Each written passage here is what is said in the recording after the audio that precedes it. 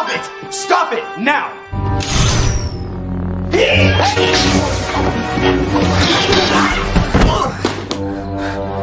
Please. Yo halo guys, apa kabar hari ini? Semoga selalu menegangkan dan mengasihkan ya. Kalaupun ada masalah, nikmati sajalah dan percaya pasti akan ada jalan keluarnya. Oke, film kita kali ini berjudul Seventeen Again yang rilis tahun 2009 di mana bercerita tentang seorang pria bernama Mike yang berusia 37 tahun yang secara ajaib bisa kembali berumur 17 tahun. Kembalinya Mike ke masa lalu tak lain dan tak bukan untuk memperbaiki masa lalunya yang buruk agar nanti di masa depan kehidupannya akan lebih baik. Oke guys, kalau begitu tanpa berlama-lama lagi, langsung aja kita let's go ke filmnya.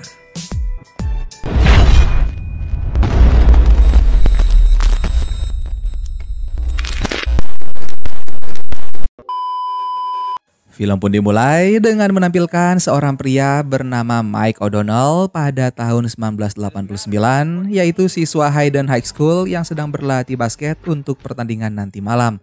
Pak Murphy, sang pelatih, mengabarkan pertandingan juga akan dihadiri oleh pencari bakat yang siap menawarkan beasiswa penuh meski Mike hanya mengerahkan separuh kekuatan dalam permainan. Sehari-harinya Mike bersahabat dengan siswa bernama Ned yang sering menjadi bahan lelucon tim. Sebelum bertanding, Scarlett kekasih Mike membawa berita mengejutkan yang membuat Mike terguncang. Ia tidak bisa fokus pada pertandingan. Mike keluar di tengah pertandingan yang akan memberinya masa depan cerah. Ia memilih mengejar Scarlett yang sedang mengandung anaknya. Scarlett berniat untuk pergi agar kehamilannya tidak menghalangi karir Mike. Tapi Mike menolak dan ia rela kehilangan beasiswa daripada kehilangan Scarlett. Berpindah pada Mike saat ini, lelaki dewasa yang sementara tinggal di rumah Ned karena diusir oleh istrinya Scarlett dan tidak diperdulikan oleh anak-anaknya. Kehidupan pribadi Mike berbanding lurus dengan kehidupan pekerjaannya.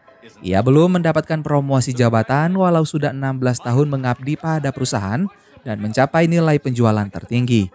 Mike dikalahkan oleh karyawan yang baru bekerja selama dua bulan. Hal ini pun membuat Mike menjadi kesal dan ia mengundurkan diri dari perusahaan. Berbeda dengan Ned, pria yang dulunya selalu dibully sekarang sudah kaya raya. Setelah mengemas barang, Mike mampir ke lapangan basket SMA Hayden, tempat di mana dulu ia menjadi salah satu siswa populer berprestasi. Di dalam hatinya, Mike sangat ingin mengulang masa-masa itu. Tugas kebersihan yang kebetulan lewat menanyakan apakah Mike yakin ingin kembali ke masa lalu. Mike mengiyakan tanpa ragu. Sesaat kemudian, Maggie, putri Mike, menyapa bersama teman-temannya. Maggie tampak tidak terlalu senang dengan kunjungan Mike. Mike berdalih ia sengaja mampir untuk mengajak Maggie dan saudaranya Alex makan es krim bersama. Sangat terlihat dua anaknya ini tidak menghormati Mike selayaknya anak pada orang tua. Mereka bahkan tidak berpamitan setelah Mike mengantarkan mereka pulang. Mike dan Scarlett sedang dalam proses perceraian. Bertahun-tahun menjalani pernikahan, keduanya sering berdebat tentang masa lalu. Mike merasa kehidupan mereka pasti jauh lebih baik jika dulu Mike serius pada beasiswa basket, sementara Scarlett merasa ia tidak pernah mendesak Mike untuk menikahinya dan merelakan beasiswa. Perceraian menjadi jalan terbaik agar Mike dan Scarlett bisa menempuh jalan masing-masing tanpa saling menghalangi. Dalam perjalanan pulang ke rumah Ned, Mike melihat kakek yang tadi menyapa di sekolah berdiri di pagar jembatan. Setelah truk melintas, kakek itu tidak terlihat lagi. Mike pun bergegas melihat ke bawah jembatan. Terdapat sebuah pusaran air yang kemudian menarik Mike ke dalamnya. Scene kemudian berpindah pada paginya dengan tubuh penuh lumpur, Mike tiba di rumah Ned. Ia histeris melihat fisiknya kembali ke usia 17 tahun. Ned yang mendengar teriakan mengira Mike adalah pencuri. Ned bahkan berusaha melukai Mike. Sambil melindungi diri, Mike meyakinkan Ned dengan mengungkit masa-masa kebersamaan mereka berdua. Hingga akhirnya Ned berhenti setelah tidak sengaja melihat fotonya bersama Mike semasa SMA. Keduanya pun mencari-cari penyebab perubahan Mike dari beberapa bahan bacaan. Ned menyimpulkan Mike mengalami transformasi sihir pemandu. Roh pemandu sengaja merubahnya untuk memulai langkah baru. Mike kemudian bergegas pergi ke SMA Hayden untuk mencari kakek petugas kebersihan yang ia duga sebagai roh pemandu.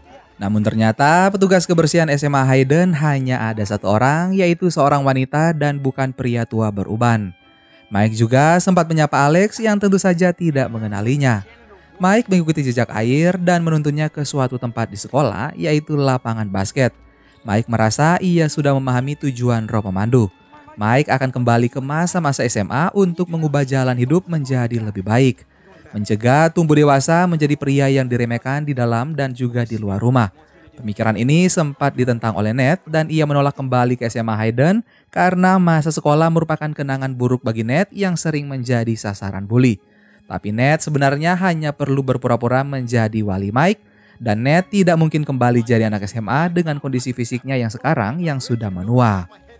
Sin kemudian berpindah di sekolah di mana Mike dan Ned menghadap Jane, kepala sekolah, dan membawa portofolio hasil editan Ned yang ahli dalam berbagai software. Saking cantiknya Bu Jane, Ned jadi meracau menyebut Mike adalah anak haram untuk menunjukkan ia masih single, sehingga Bu Jane risih dan tanpa banyak basa-basi langsung menerima Mike sebagai siswa pindahan. Demi sahabat yang dulu selalu menyelamatkannya dari bulian, Ned bahkan memodali Mike agar menjadi siswa keren dan tidak dipandang remeh. Besoknya, Mike dengan nama barunya yaitu Mark tiba di sekolah dengan menaiki mobil mewah.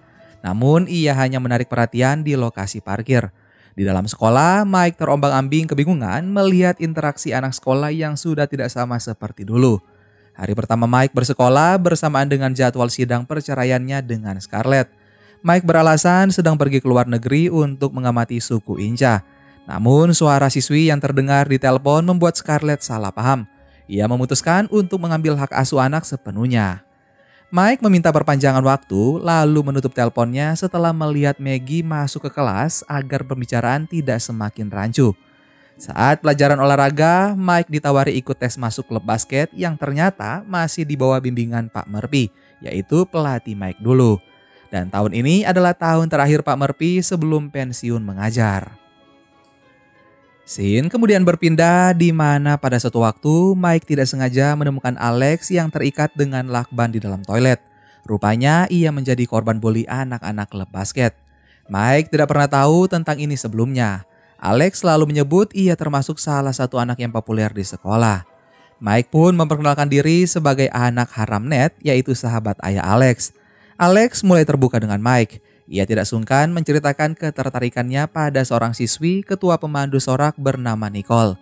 Tetapi Alex yakin Nicole tidak akan mau berkencan dengannya. Selain siswi yang disukai, Alex juga memberitahukan tentang siswa yang ia benci, yaitu siswa bernama Stan, ketua tim basket yang bertindak sesuka hati. Stan merupakan pelaku pembulian Alex, bahkan kemarin Alex dijejalkan ke mesin cuci di rumah Alex sendiri. Mike bingung kenapa Stan bisa bebas masuk ke rumah. Rupanya Stan berpacaran dengan Maggie. Mike tidak bisa mengalihkan pandangannya pada Stan yang mengencani anak gadisnya dan membuli anak lelakinya. Mike secara terang-terangan mempermalukan Stan di kantin sekolah sambil memainkan bola basket dengan lantang ia menyebut Stan seorang pembuli yang harusnya dikasihani karena tiga hal. Yaitu Stan berjiwa pecundang sehingga ia membuli yang terlihat lemah. Otaknya tidak berkembang atau kemaluannya kecil. Mike pun berhasil membuat Stan tercengang tanpa bisa berkata apa-apa. Sin berpindah ke rumah Ned di mana Mike menceritakan segalanya pada Ned.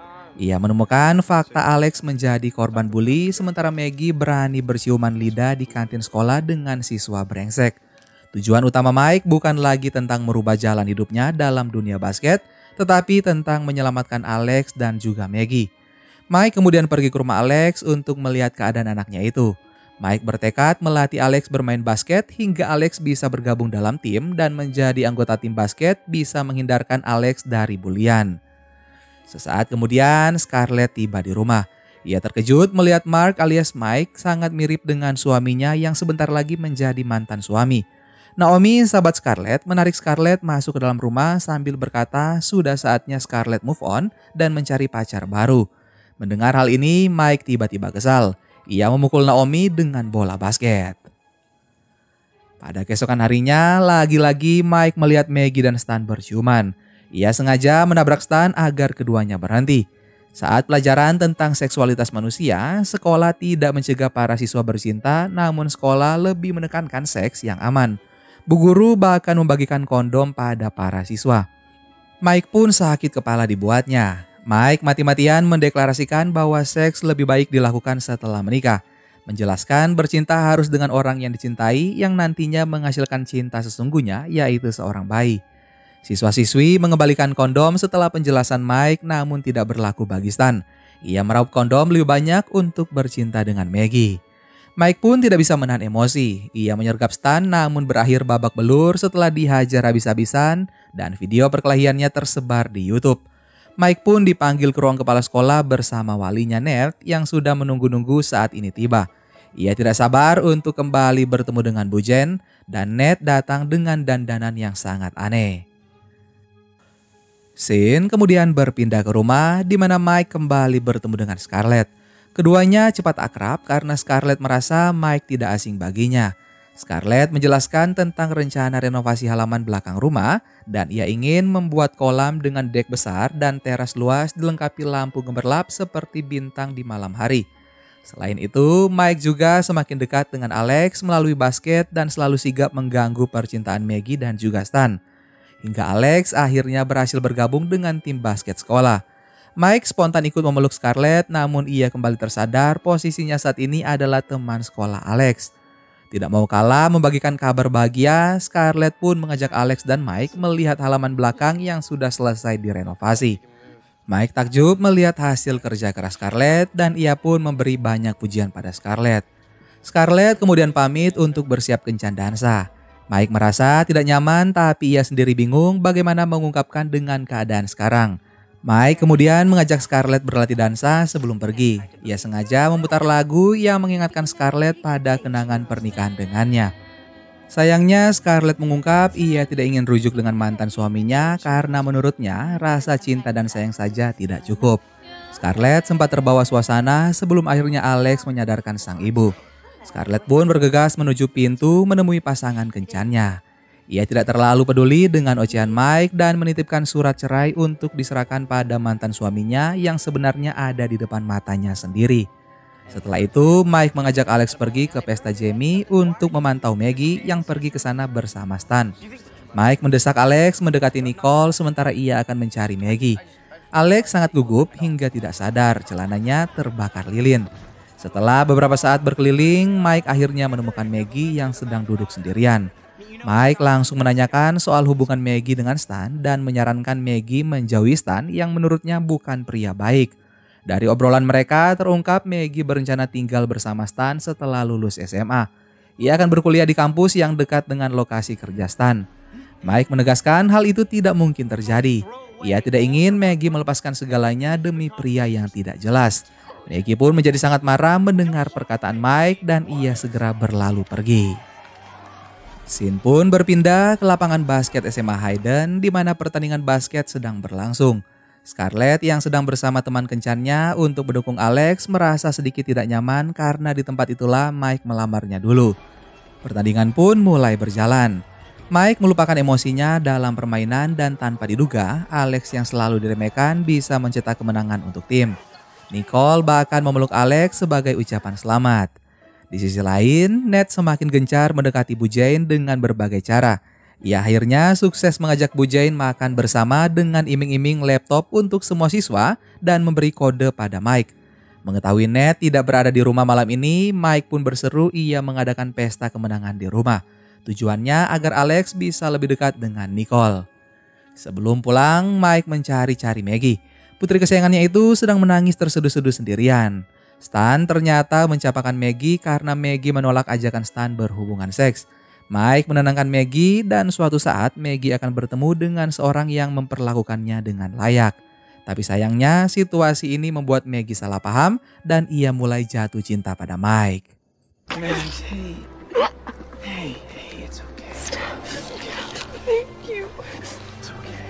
Very exciting. I know it's great.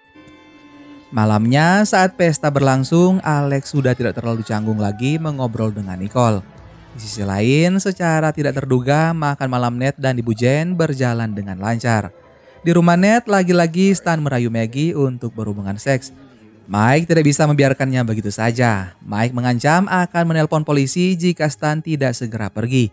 Dalam pengaruh alkohol, Stan menghina Maggie dan Mike yang emosi mencoba menampar Stan namun malah ia yang kena hajar.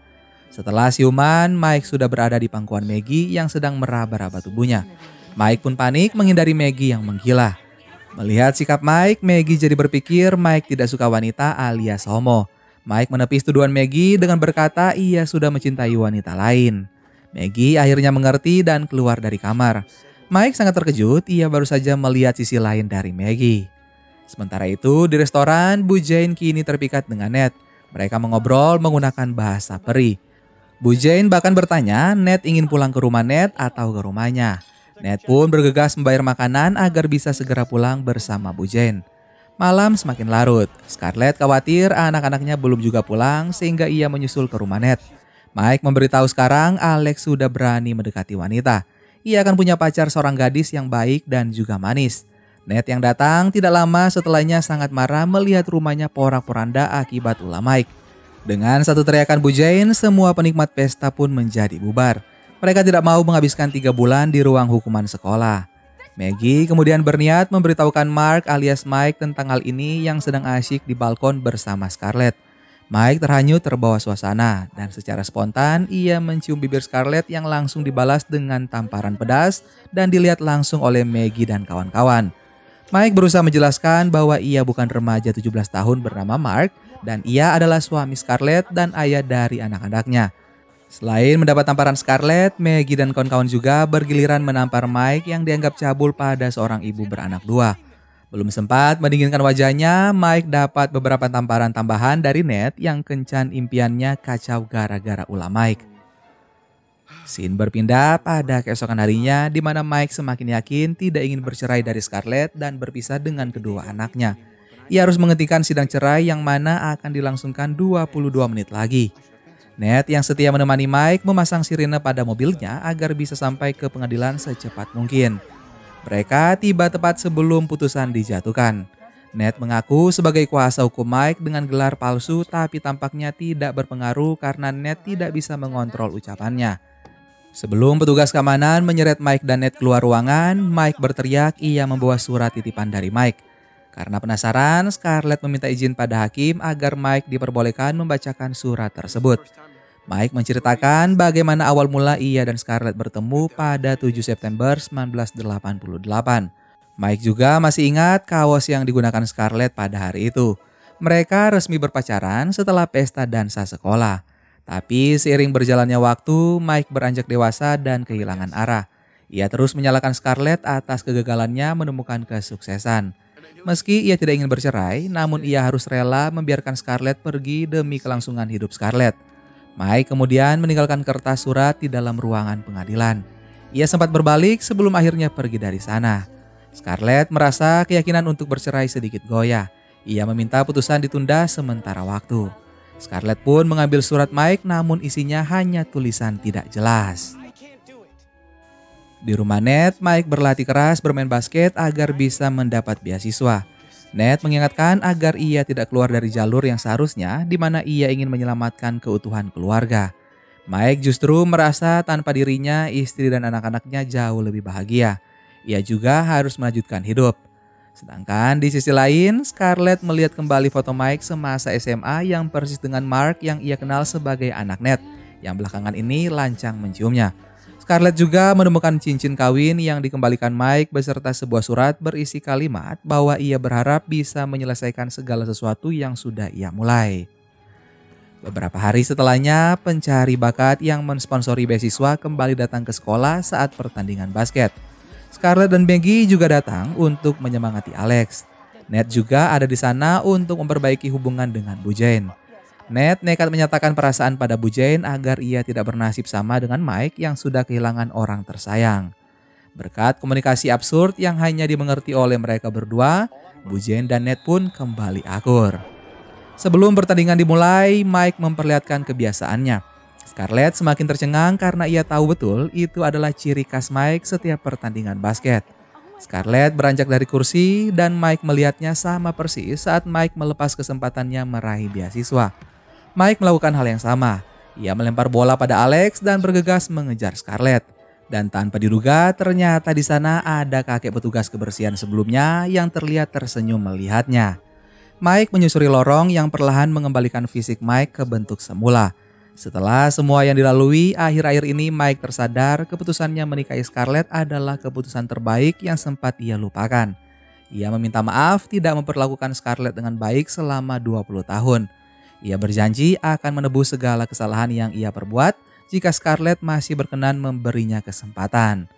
Scarlett pun mencium Mike dengan penuh kerinduan. Scene berpindah ke rumah Ned di mana Mike berpamitan untuk pulang karena ia tidak jadi bercerai. Betapa terkejutnya Mike melihat Bu Jane ada di kamar Ned dengan dandanan seperti peri. Ned memberi hadiah peluit untuk Mike dan sebagai ucapan selamat atas pekerjaan barunya sebagai pelatih basket SMA Hayden menggantikan Pak Murphy yang sudah pensiun. Dan film Seventeen Again pun selesai. Gimana guys film kita kali ini? Silahkan kalian komen di bawah. Buat kalian yang ingin request film, silahkan kalian komen juga di bawah film apa yang ingin Mimin bahas selanjutnya. Terima kasih banyak buat kalian yang sudah setia menonton video Mimin sampai akhir. Sampai ketemu lagi di film-film nostalgia dan seru selanjutnya. Dan tidak perlu kembali ke masa lalu, kalian hanya perlu memperbaiki saat ini saja. Dadah!